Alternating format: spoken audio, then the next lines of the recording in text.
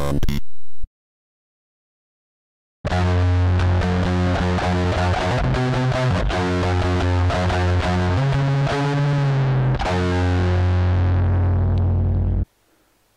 uh, welcome back to Chris Lody Music. Today I'm here to talk about this little guy, the uh, Symetricolour Shitar. It's a lo-fi rubber band guitar uh, which is amplified by a piezo mic and can be connected to a small amp such as this or a sound card via which quarter inch socket on the side. Um, you'll need this kind of cable. It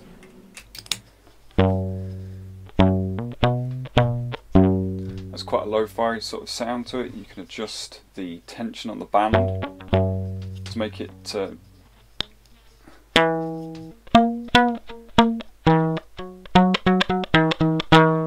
play in different ranges. Uh, so you've got quite a lot, a lot of adjustment just on one rubber band.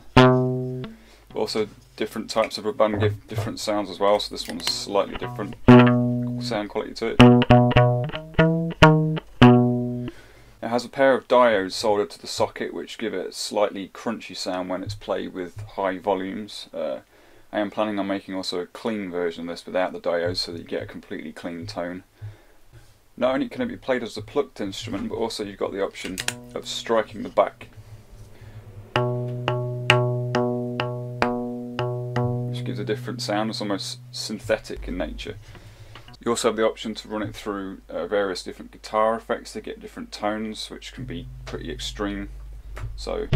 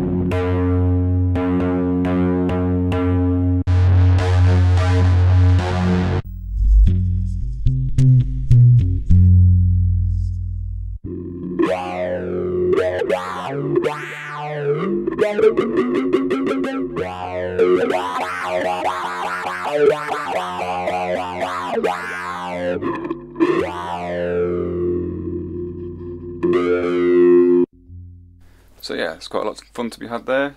Uh, this is actually the second version of the Shitar I've made. The original one was slightly smaller. On this one you've got about another 50% worth of neck, so you, it's a little easier to play. It's still pretty random and fretless, and therefore a little bit lo-fi, and also the band will stretch, so not exactly an accurate instrument, but quite good fun for getting some interesting tones. Um, you'll find a link to my Etsy shop uh, in the description or on the link in bio if you're on Instagram. So yeah, please go check it out. Uh, thanks very much for watching.